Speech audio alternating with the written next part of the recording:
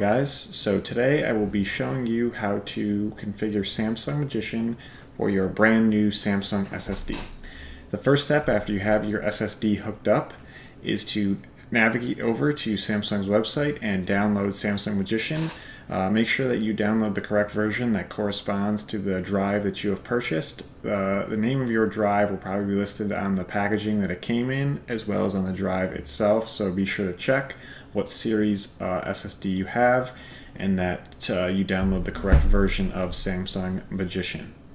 Now, once you have downloaded Samsung Magician, it's a pretty straightforward install. I would recommend installing it on the same drive that your uh, SSD is on, just for uh, safety. And uh, once it's installed, go ahead and run it, and this will pop up.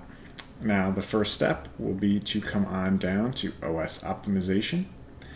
And now there's three different options here. There's maximum performance, there's maximum capacity, and there's maximum reliability. I do not recommend going to this advanced tab unless you know what you're doing.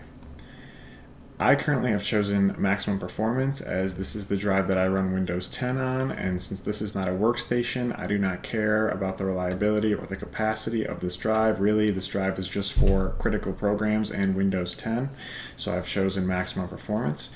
So um, go ahead and click on maximum performance and click apply or click what either of these if that is what you would like. Now the next step is to come down here to rapid mode. Now, when you first get your drive, rapid mode will be uh, disabled. Go ahead and click this button right here and this will enable it and then it will prompt you to restart Windows 10.